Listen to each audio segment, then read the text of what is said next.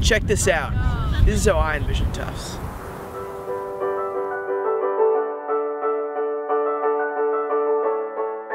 We are competitive.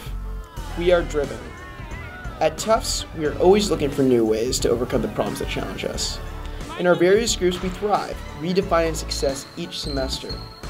However, what we have in our separate communities, we lack as a unified voice. We can do better. We can support each other better. We can collaborate better. We can overcome the obstacles that stand in our way better. Together.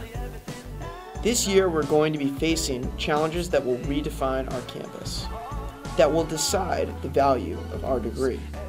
We cannot hope to face these challenges alone. It will take all of our voices. I pledge to create an environment where all perspectives are heard, where conversation is the cornerstone of problem solving, where we can educate each other about the issues that we face in our separate communities and the challenges that we will have to confront together. Let's do this.